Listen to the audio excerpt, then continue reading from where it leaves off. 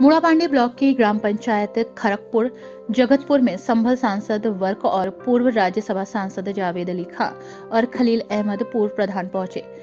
उनके द्वारा एक चुनावी सभा को संबोधित किया गया, जिसमें उन्होंने कहा कि उत्तर प्रदेश में जिस तरह से प्रदेश को भाजपा की योगी सरकार ने पूरी तरह बर्बाद करके रख दिया है,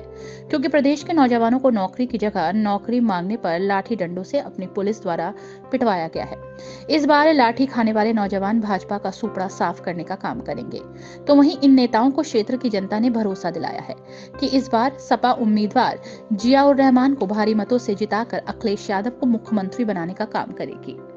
साथ ही जिला महासचिव ने बोलते हुए कहा कि जिस तरह से दो बार विधायक रहे विधानसभा 29 से, उन्होंने जनता से जमकर लूटपाट करने का काम किया था। जनता से लूटपाट की रिपोर्ट जब हाईकमान तक पहुँची तो सपा मुखिया ने उनको टिकट न देकर ईमानदार प्रत्याशी जियाउर रहमान वर्ग को विधानसभा 29 का प्रत्याशी बनाकर जनता के बीच भेजा है।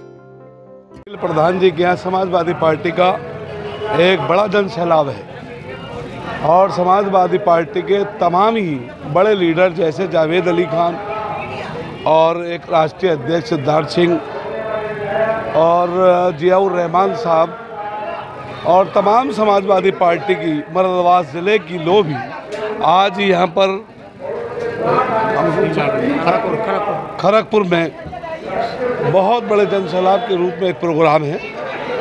और इन ये एक प्रोग्राम ऐतिहासिक प्रोग्राम है और हम जियाउर रहमान को इनशाला आपकी बार साठ हज़ार वोटों से जिताएँगे बता दें कि आगामी विधानसभा चुनाव को लेकर सूबे में बढ़ती हुई सरगर्मियाँ साफ़ देखी जा रही हैं।